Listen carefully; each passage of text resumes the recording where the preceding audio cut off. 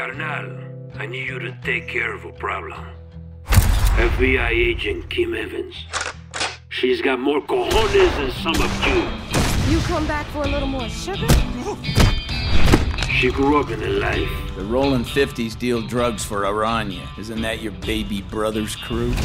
Then she wants some medals from the FBI. She loves that fucking badge. That's why this should be an FBI investigation. The DEA has compromised itself enough already. But she loves her baby brother even more. You get popped with this kind of way, you going down for a dime. That's how we're going to get her. You know I won't let you kill him. Comprende?